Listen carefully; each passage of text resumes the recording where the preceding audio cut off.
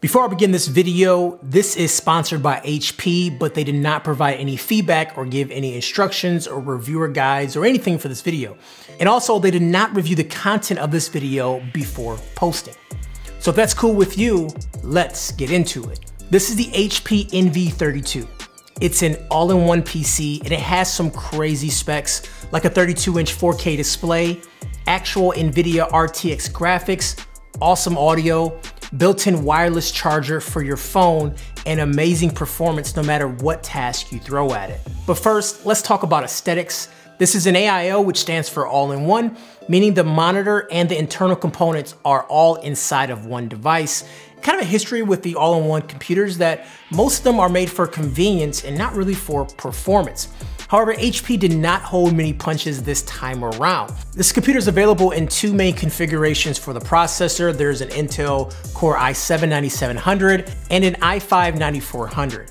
There's also a variations of different components. I'm gonna put it here on the screen so you can kind of see what I'm talking about. So many different things. Kind of to highlight a couple of specs, you can get 32 gigabytes of DDR4, one terabyte SSD with 32 gigabytes of Intel Optane, and you can get up to an NVIDIA GeForce RTX 2080 8 gigabytes. There's so much power when you build this computer and so many different choices but my configuration is one of the baseline i5 models, which is plenty good for majority of the people. The price ranges from just under $1,700 to over 3,000 fully kitted out. Prices always change, HP runs sales, so please use my link down below if you do wanna check it out. HP this year has stepped up the aesthetics from the HP Envy 13-inch laptop that I've already reviewed to this all-in-one.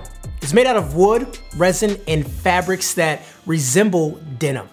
It may be an acquired taste for some, but I absolutely dig it. I think sitting on this desk, it looks good.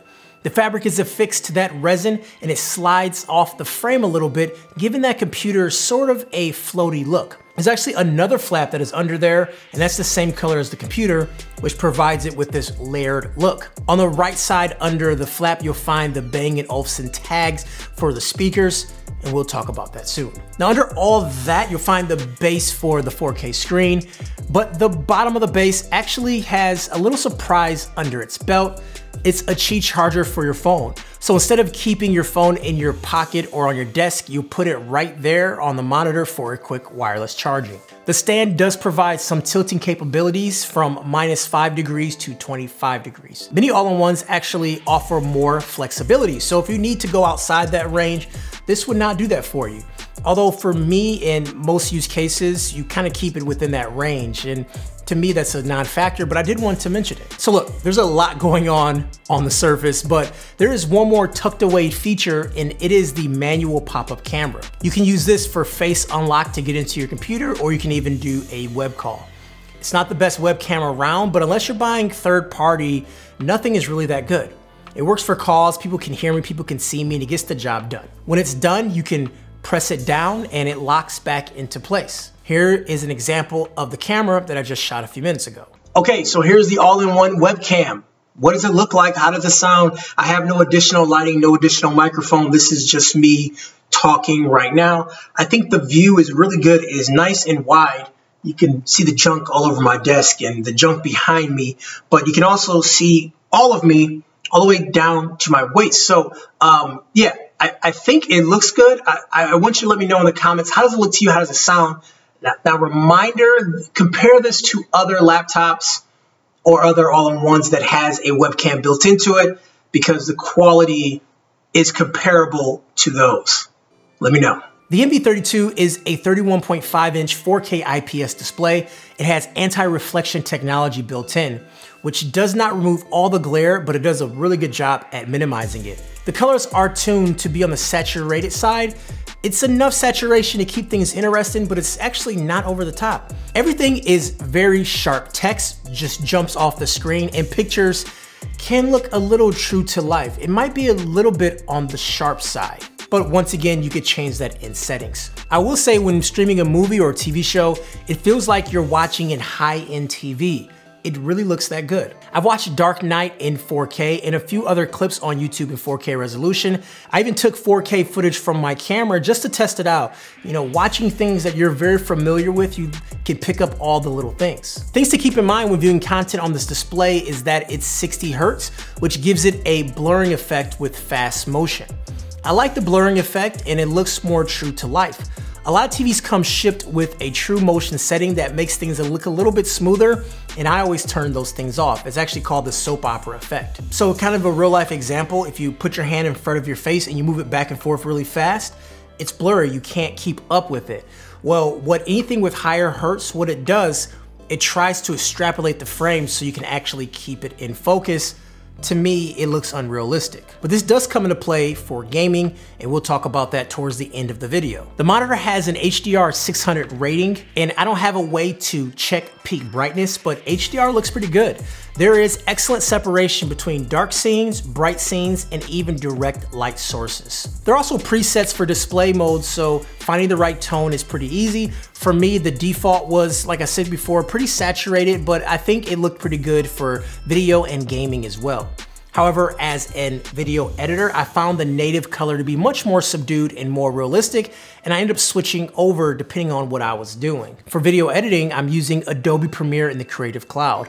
I was able to scrub the timeline with little to no slowdown, move footage around, adding effects to it, and all that stuff on my footage. I took 11 minutes of 4K footage shot from my Sony a7 III and rendered it out in H.264 coded, and the footage exported in 3 minutes and 31 seconds, which is really fast. A lot of times I like to see a one-to-one -one ratio, but 11 minutes, I exported in three and a half minutes.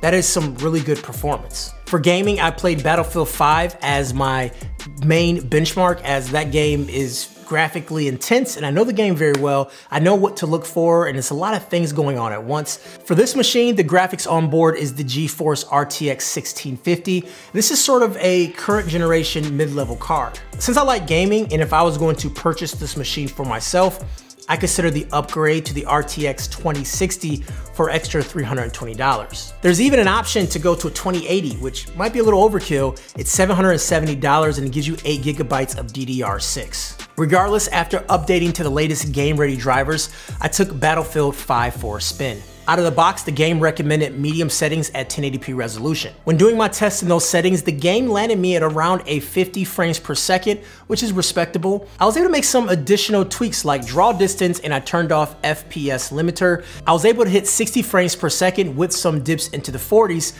during those scenes where a lot of combat was happening. Of course, I could make further tweaks. I could even move the settings to low and consistently get 60s, but I found medium to be some very happy settings. Of course, once again, if I had one of those better graphics cards, I could definitely play the game on the highest settings. The computer does ship with a mouse and keyboard, and the keyboard has a tray on top that allows you to put a cell phone or tablet into it. It also gives you access to the Bluetooth settings so you can switch between different devices for that keyboard. Now, I don't foresee myself using it, but it is a feature that some people may use, especially if they work off multiple devices. The keys do not have a lot of travel and it sounds very clicky.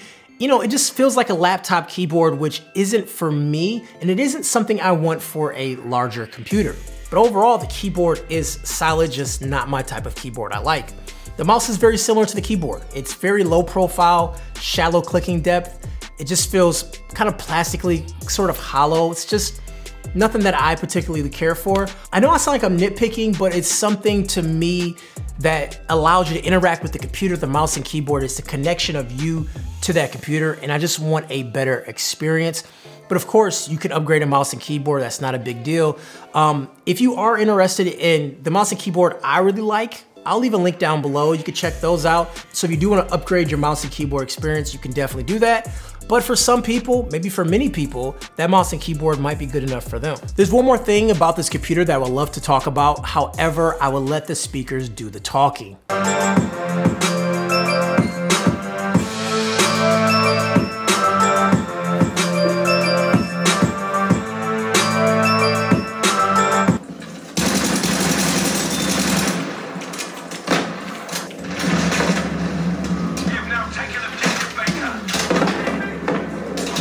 These speakers on board are really good. I'm actually shocked at how great they sound. Usually I would suggest buying some new speakers if you buy a computer, but these are good. For gaming, movies, and music, they sound great and I have no regrets at all. The built-in woofer actually vibrates my table. I mean, it's that good. This video is not gonna do it justice, but if you have a chance to hear these, they sound really nice. HP recognized how good this sounds and this all-in-one computer is actually a Bluetooth speaker too. So if you're on your phone, you can browse to it and find this actual computer in Bluetooth settings, which is really cool to see. All in all, a lot of Windows users have been envious of the iMac all-in-one solution. This is Windows' best all-in-one computer, and it doesn't feel like you're missing out on any great feature. It's configurable to be a beast, or it can be a powerful family computer. It's totally up to you. If you wanna check it out, it's on HP's website, but make sure you hit my link down below if you want to do it, as it helps my channel out greatly. Anyways, guys, Kevin the Tech Ninja, if you like this type of content, hit subscribe and give it a thumbs up. And I'll talk to you guys later. Peace.